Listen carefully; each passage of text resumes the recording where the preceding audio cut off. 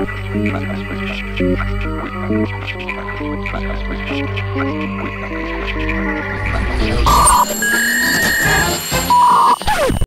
I'd really love to do is tell you uh, for about two hours about the real gadget I want to make, which is a way to back up the human brain so that if something bad happens to you, uh, nobody cares because you can reload the, um, all the information that was in your brain into a new robot.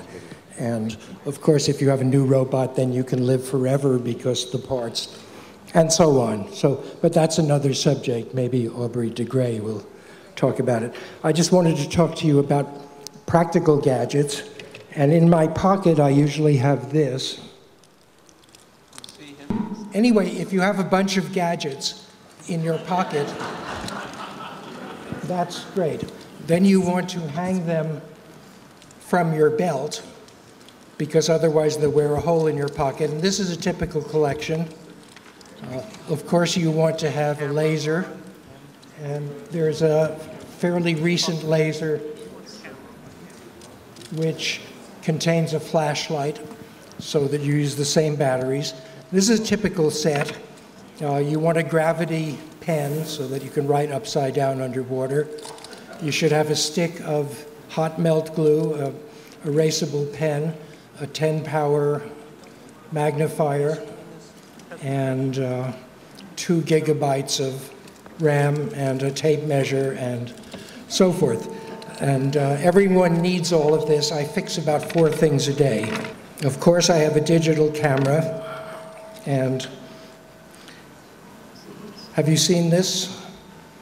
This is a 9 volt battery and a little thing. Here,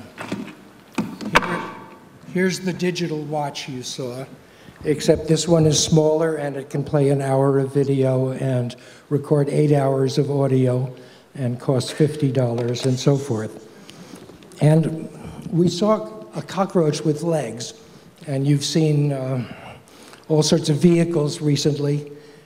And I think there's a big future in vehicles with legs because vehicles with wheels require an incredible amount of infrastructure uh, several percent of the national budget goes into maintaining roads and stuff.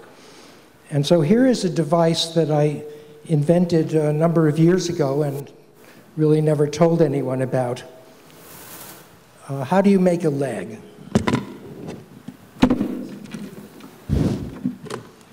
So uh, this gadget has two parts. And the part on the left does exactly what the part on the right does. Has four joints. It's a little flimsy right now, but if I move this joint, then only the corresponding other joint moves. And you're supposed to imagine that there's 10 miles here. Now, what goes between this set of four joints and this set of four joints is six wires. And it has the wonderful feature that if you break any two wires, you see it needs four degrees of freedom, one, two, three, four. If you break any two of the six wires, it will still work the same. And in fact, one of them's broken and I never got around to repairing it. How does that work? Well, most robots have motors to control joints. This robot has a wire that goes around each joint, either this way or that way, either left or right, but it's not attached to the joint. And so to make the arm do what you want, you imagine not what the joints do, but a Fourier series. So the first component is straight, let's just go like that. The second component is U-shaped, and the third component is S-shaped, and the fourth component is W-shaped. Uh, so you want a four by four matrix. But what I did, being an ex-mathematician, is I made a six by four matrix, which has the property that any subset of four columns is still non-singular.